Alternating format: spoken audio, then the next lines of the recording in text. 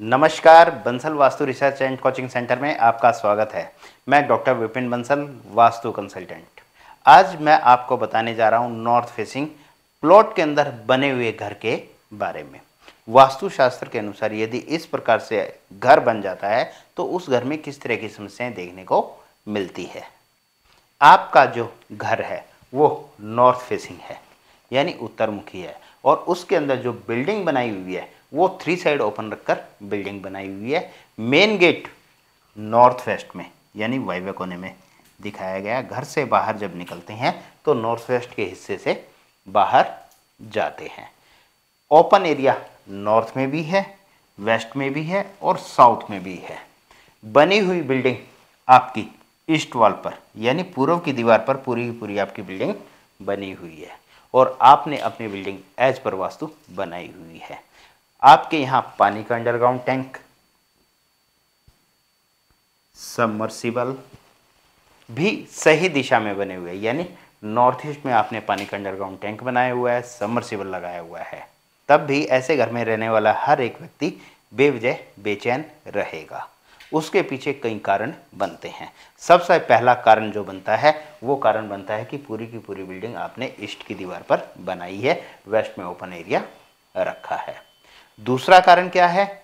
जो आपके यहाँ फर्श की ढलान है वो सारी की सारी फर्श की ढलान साउथ ईस्ट से साउथ वेस्ट की ओर और, साउथ वेस्ट से वेस्ट होते हुए नॉर्थ वेस्ट की ओर आती है। ऐसे ही नॉर्थ ईस्ट से नॉर्थ होते हुए नॉर्थ वेस्ट की ओर फर्श की ढलान आती है।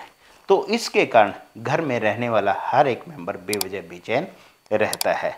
और ऐसे घर में रहने वाले व्यक्ति के जो काम है वो भी बिल्कुल लास्ट मोमेंट पर आकर बनते हैं। अधिकतर देखने में आता है, जो व्यक्ति ऐसे घर में रहते हैं, उस घर में रहने रहने वाली जो महिला है, जो लेडीज़ है, उन्हें बाहर जाकर भी काम करना पड़ता है। यदि आपके साथ ऐसा हो रहा है तो आप अपने घर का वास्तु ज़रूर सही करें। आपका घर इस प्रकार से बना हुआ है और आपको बहुत ज़्यादा परेशानी है तो मैं आपको कुछ उपाय ज़रूर बताना चाहूँगा, आपने अपने यहाँ पर क्या काम करना है। जो आपकी अपनी साउथ की दीवार है साउथ वेस्ट से साउथ होते हुए साउथ ईस्ट तक और साउथ वेस्ट से वेस्ट की दीवार, वेस्ट होते हुए नॉर्थ वेस्ट तक। ऐसे ही जो आपकी साउथ ईस्ट से बनी हुई बिल्डिंग है, यहाँ तक कि ये तीनों दीवारें आपने कम से कम दो फीट ऊँची ज़रूर करनी है। इसी के साथ आपको एक काम और करना है। आपके यहाँ फर्श टूटा हुआ है या ऊँचा नीचा हो गया या बैठ गया है तो आप अपने फर्श को भी सही कराएँगे तो भी आपको रिलीफ मिलना शुरू हो जाएगा। आज की वीडियो में मैंने आपको बताया कि नॉर्थ फेसिंग प्लॉट के अंदर ईस्ट की दीवार पर बिल्डिंग बनी हुई है। तो उसके किस तरह के बुरे प्रभाव घर के अंदर रहने वाले मेंबर में देखने को मिलते हैं।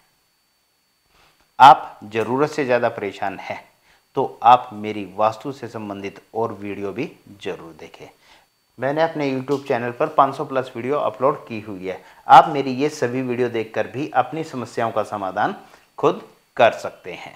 आपको लगता है मेरी सभी वीडियो में दी गई जानकारी सही है तो आप अपने यहाँ पर छोटे छोटे बदलाव करके भी अच्छे रिज़ल्ट प्राप्त कर सकते हैं। आप अपना कीमती समय निकाल कर मेरी वीडियो देखते हैं, उसके लिए मैं आपका तय दिल से धन्यवाद करता हूँ। इसी तरह अगले प्रोग्राम में फिर एक नए विषय पर चर्चा करेंगे। तब तक के लिए नमस्कार।